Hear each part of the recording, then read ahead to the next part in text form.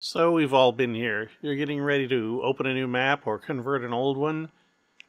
And what happens? Well, the first thing usually is when Unreal starts up, it wants to build a ton of shaders.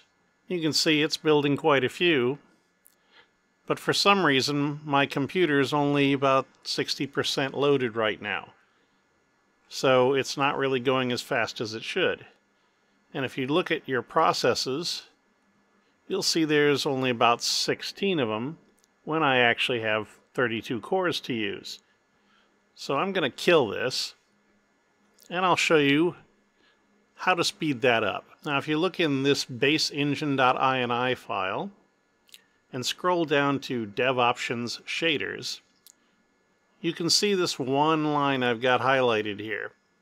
Percent unused shader compiling threads and it's set for 50%.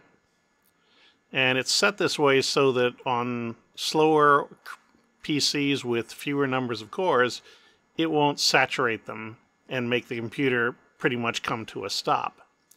But if you have a lot of cores, and you probably noticed on mine, I have a Threadripper with 16 cores and 32 threads, um, you can come back here and change this number to something a little more aggressive.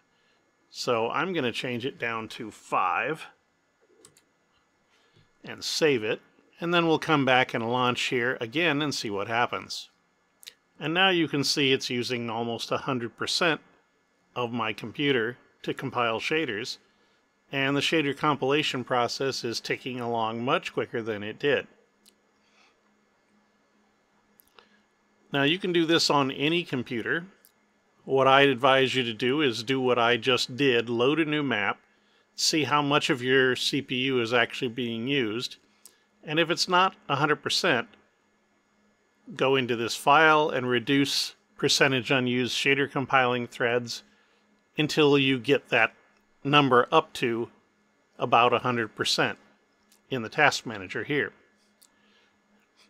You don't necessarily want it to use every single ounce of power your machine has because the machine may become unresponsive.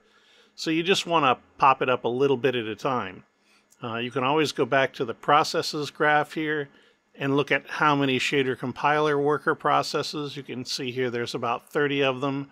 So there's probably about two threads free to do other things and keep my machine from turning into a slug while it's doing this. But you can see that we're going through the shaders a lot quicker than we were the first time and 100% of the machine is being used. As far as I know, there's no bad effects to this uh, method of turning the compiling threads down, uh, down to a smaller number. Uh, you might notice more problems if you have fewer numbers of cores and threads than I do, but you can always turn this number back up again anytime you want. In fact, you can do like I'm doing here and just leave it open in an editor and fiddle around with it all you like. Just remember each time you change it to save it, and you have to restart Unreal before it actually becomes active. But you can see just in the short time we've been talking here, my machine is blitzed almost all the way through 5,000 shaders. And normally it would take longer than this to do it, almost twice as long. So it's a big improvement, particularly if you have a newer machine that has a lot of threads available. Just check the task manager like I have here to see how many threads you've got. And you notice now that as it's getting to the end of all the shaders, the CPU load's dropping back down again. And in a second or two, Unreal will pop open. And now we're in the lovely City Park environment that uh, is available for free on the marketplace. And yes, I did cheat a little bit here. I did skip over some additional resource building and loading that happened after the editor popped up. I didn't think you really needed to see that. The point is that this little hack I showed you has sped up the shader build portion of things probably by almost double on my machine. The more cores you have available, the better this hack will work. So I hope you find this helpful. Should allow you to get up and running in new maps a little bit quicker, particularly if you have a machine with a lot of cores And this would work on things other than Threadrippers, obviously. It'll work on a Ryzen, it would work on an i9, it would work on a Xeon. Just look to see if your machine is using 100% of its power during the shader build process, and if it's not, adjust that parameter till it is. I hope you found this useful.